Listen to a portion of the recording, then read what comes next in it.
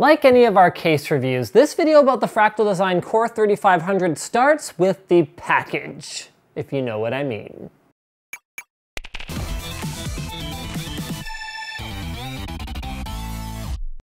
The Corsair Flash Voyager Go is the easy way to move photos, music, and videos between your Android device and your PC. Click now to learn more. Of course I meant the box. Fractal uses a hard foam here that isn't my favorite, closed cell foam would be that, but considering the price point of the case and the expected weight of a completed system, it should keep your goods well protected in transit, if you know what I mean. Innuendo aside though, once we get the case out of the box, we're greeted by the traditional clean-lined fractal design aesthetic. The front features a brushed plastic finish, two five and a quarter inch drive bays, a small logo that seems to be designed to be easily replaced with something else. Are we targeting system builders here, Fractal? And long filtered mesh strips that will feed the included front 140mm fan and the optional second mount underneath it with fresh air. The mesh looks good, but it's the first of a number of things I noticed about the case that just aren't up to the usual fractal design standard. Much like on my wife's older Arc Midi, the dust filter system for those front intakes can't be easily removed for cleaning, and because the mesh is so fine, you can expect some wicked dust to visibly build up there. I'm also not a huge fan of the top of the case. As a cat owner, Top I.O. is already not my favorite thing in the world, but having the power and reset buttons so close together and so easily accidentally pressed feels like a move from the 2010 case manufacturing playbook rather than the 2014 one. And the fan mounts up here, which support dual 140 or 120 millimeter fans and up to a dual 120 millimeter radiator, just didn't seem robust enough to handle the weight of our closed looped water cooling system. The way it flexes might have been fine on a $70 case where I'd be thankful to have rad mounts at all, but this one has an MSRP of $90.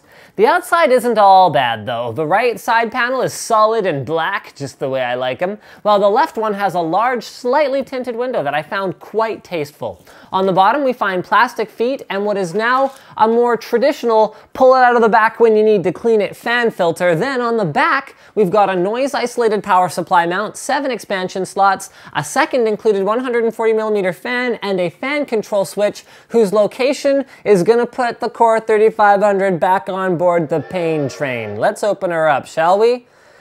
This, this fan controller. I don't say this kind of thing often, so when I do, I hope manufacturers pay attention. Fractal, I love you guys, but what were you thinking? These are some examples of the 100 more sensible places you could have put this. It's got a green PCB that's visible from the window. The Molex connector sits either next to your power supply or it runs across your PCI slots. And the fan leads, aside from being impossible to cable manage nicely, have some of the worst sleeving I've ever seen on a Fractal product. It's this inflexible heat shrink stuff that doesn't even go to the end of the colored wires. The only good thing about the included fan controller is that we used an ASUS motherboard in this build which has onboard fan control and the wire harnesses come off. So we only have to look at the unsightly PCB instead of the entire thing. Actually, you can take the PCB out too. It just leaves a little hole in the case. So that's another good thing about it. And there's some other bad stuff in here too. The 5 and a quarter inch bays don't inspire much confidence and the clearance for both the top mounted and front mounted radiators could be better. With the top rad installed, it is impossible to access the top portion of our board. We could barely even get it in with the 8 pin power connector pre-installed. And for the front mounted rad, you need to shift the hard drive cage inward for it to fit, which will interfere with a second high-end graphics card. And this could be a problem if your whole reason for installing another radiator in the front is that you want your SLI or crossfire setup to be adequately cooled. But like the outside, the inside isn't all bad. The solidity of the 3.5 inch and 2.5 inch drive cage is among the best I've ever seen, at least when it's screwed into the front of the chassis.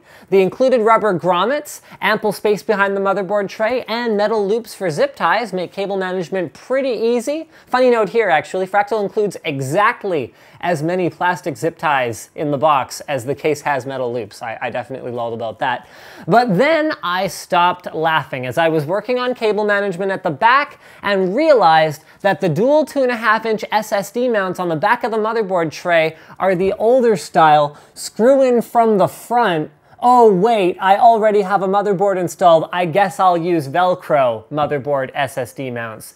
These just plain aren't very good. The bottom one can't be accessed if you have a power supply installed, even though the case's manual tells you to put the power supply in first, and even if you did have the foresight to install your SSD first, the connectors are so flat to the back of the motherboard tray that you'd be putting quite a bit of strain on them if you tried to plug them in and they weren't completely flat ones. Many power connectors are like this. This was a disappointment, especially when Fractal Design has cases much better implementations.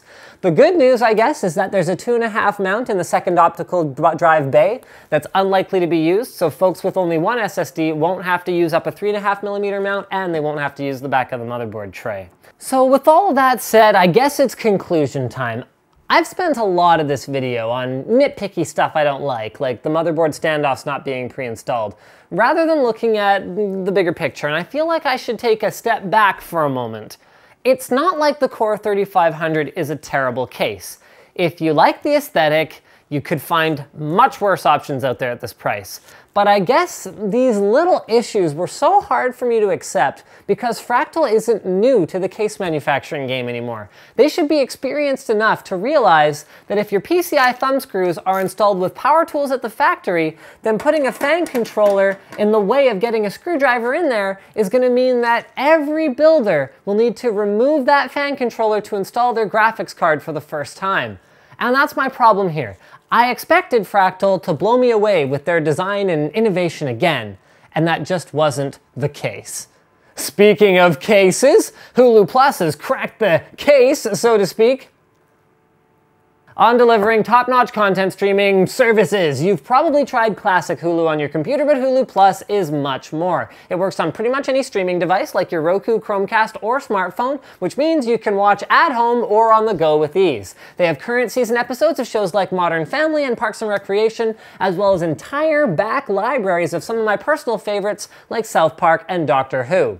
So whether you're trying to stay up to date with current shows or catch up on an entire series, Hulu Plus has you covered. Oh, and and you'll also get access to originals that you can't get anywhere else, like the upcoming Hot Wives of Orlando, a parody of The Real Housewives, which will be available July 15th. Sounds pretty good. Florida Hot Wives. Did you know that Florida is actually one of the fattest states? I hope that's not the kinds of. Anyway, I'm, I'm sure. I'm sure that it won't be those kinds of hot wives, like, like they're too warm and they need to Anyway, the point is it's only $7.99 a month, but right now they're offering you guys a chance to try Hulu Plus completely free for two weeks. When you sign up, be sure to use the link in the video description, huluplus.com slash Linus, so you get that extra week, because they always offer a free week, so you don't actually have to give me any credit for sending you over there, but I'd really appreciate it if you do, and the extra free week is like also great too. So that's pretty much it, guys. Thank you very much for watching. Like this video if you liked it. Dislike it if you disliked it. Leave a comment. Let me know. Was I too hard on the Core 3500? Did I beat it up too much? Does it look like a great case to you? I mean, ow, I hit myself on the fan. I mean, the, the, the build quality is good. I mean, there's all, you know, the metal's folded over. Like, it's, it's not a bad case. So let me know. Do you think I, do you think I judged it too harshly? And that's pretty much it. Guys, the link in the video description to support us is down there, so you can go ahead and you can give us a monthly contribution. You can buy a cool t-shirt like this one, or you can, I'm sure there's a third thing, right, change your Amazon bookmarks to something with our affiliate code so that we get a kickback whenever you buy, like, I don't know, the paper towel or whatever it happens to be. Thanks again for watching, and as always, don't forget to subscribe.